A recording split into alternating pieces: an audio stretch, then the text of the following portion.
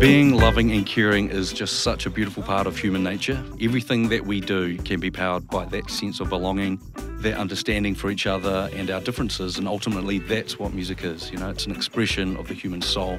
And so that's love to me. If we can express that in a song in Te Reo Māori, well, that's really special.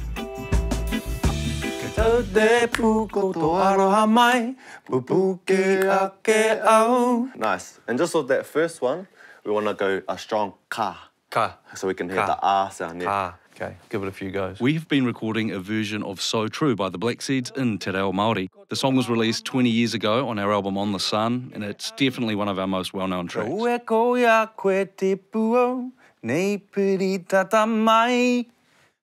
A he mea whakamauri tēnei waiata e whare hoka wano, rāua ko Ruakere Hon. Nice. Puaki.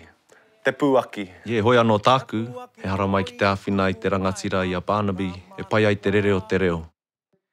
Everyone knows the song in Aotearoa, whether you're Māori, Kiwi, Pākehā, whatever you are.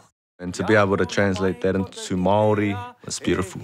Ka wera nā, ko ia pu, koe ko te rangona.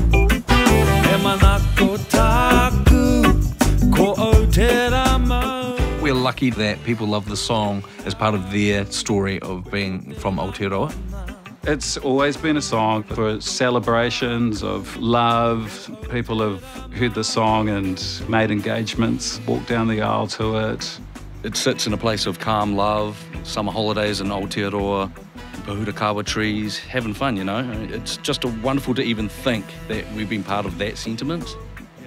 Now, with the Te Reo Māori translation, we can grow that. Mapuna manawa. Mapuna manawa. When you over exaggerate, it sounds really sounds nice better? to me. Yeah. Okay, Because the vowels are clearer. Yeah. I think it's important to treasure the track and then to treasure and respect Te Reo Māori and to put that together, you know. Over the years of playing the song for such a long time, we almost wanted to stop playing the song because we played it so much. I personally had to learn to, to love it again for what that song does for people. In Māori, it just sounds beautiful, you know. It's a great way to just revitalise a song again. Nice, bro. Yeah, all right. Hey, I got two notes. Yes. and it's the start, so it makes sense. Okay, You know, fresh. okay. Sort of those That's good. You know, initially, the song was, was inspired by romantic love. The meaning of the song has grown into that and love for Aotearoa. I think it's great now that the, the meaning of the song is changing into a love for, for everyone. This song has everything. Love, unity, authenticity. Because Te Reo Māori is such a spiritual language, it just enhances that.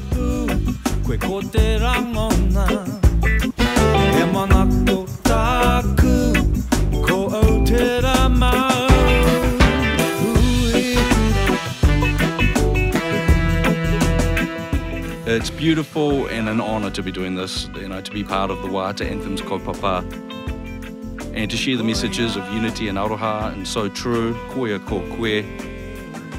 It's cool, man.